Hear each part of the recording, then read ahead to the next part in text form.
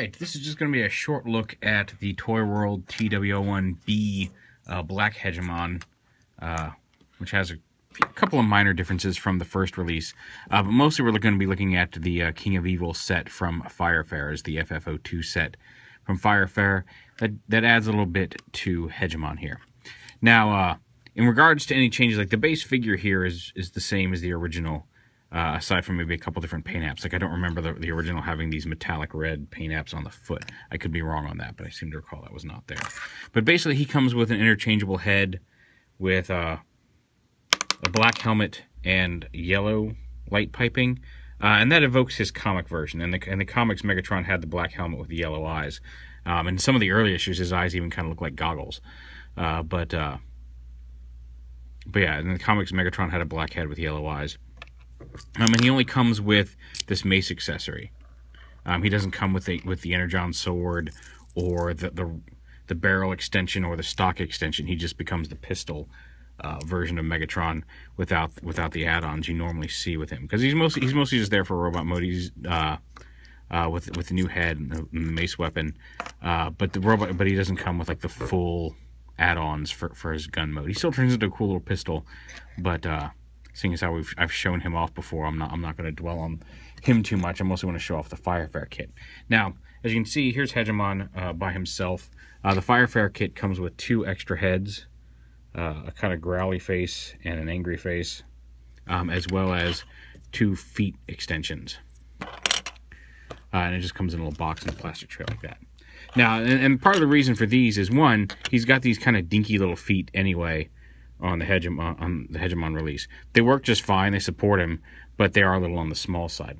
Also, if you ever got Orion and Hegemon next to each other, you'll see that Megatron's a little shorter than than, than Optimus here. Which and, and I and I don't think that should be the case really. I'm okay with like Optimus being shorter than Megatron, like it happened in the animated, but uh, like you know th- these guys look good together aesthetically, but there, there's the height difference. Um, and, so, and, the feet are meant to address that. Now to swap out the heads, it's very simple. I'm just going to put this head on just to show you what it looks like. Um, you just basically unscrew the screw back here on the original. Uh, split the two halves apart. Make sure you don't lose that screw. It is very easy to fall out. Uh, unscrew the replacement head.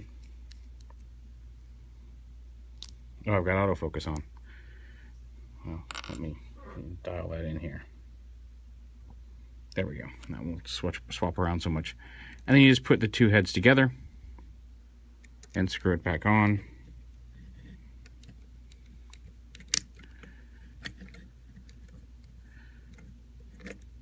And there you go.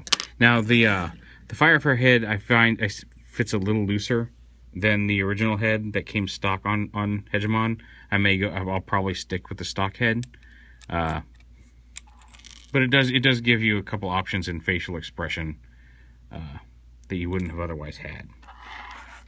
And the, the foot extensions are actually uh, cooler than I originally thought. When I originally saw these, I thought you were going to have to pop maybe pop these feet off at the ball joint here and snap these on. And that's not the case at all. The way these work is you just take basically take his foot without any modification to it and you just slide it right in through here and then this little post right here pegs into the bottom of the foot you can kind of see how that locks in.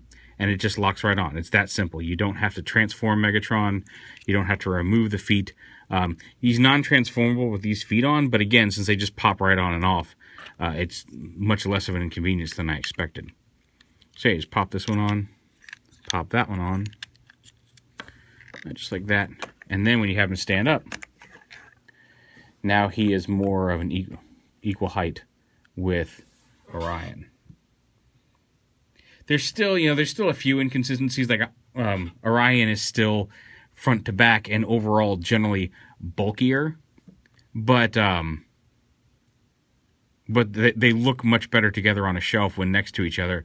They they're of even height and they look a lot cooler.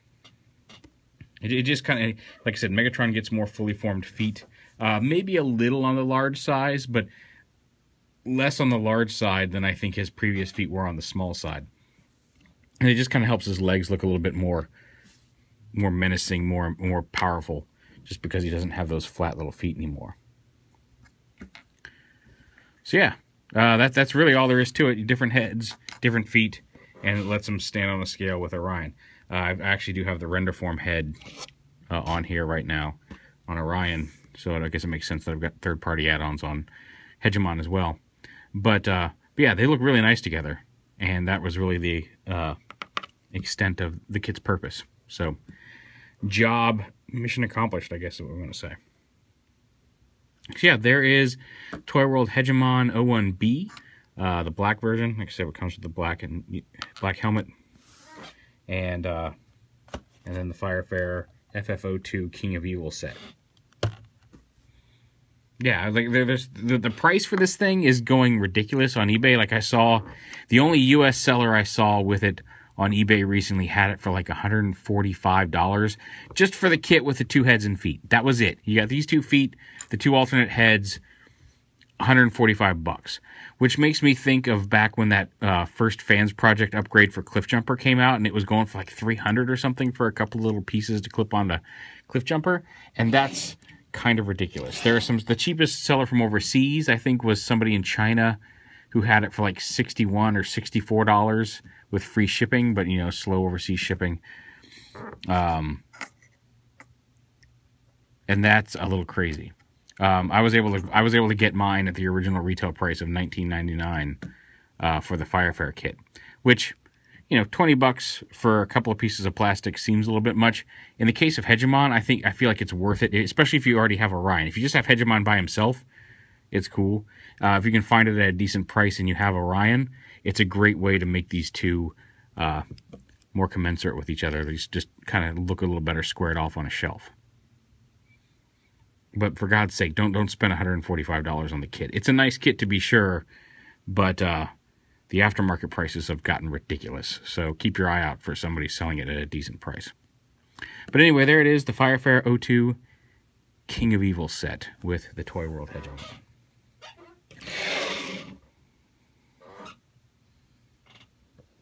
Let's see if I can get him in focus here. Just yeah, there we go. Yeah, definitely a worthy set. Just don't pay too much for it.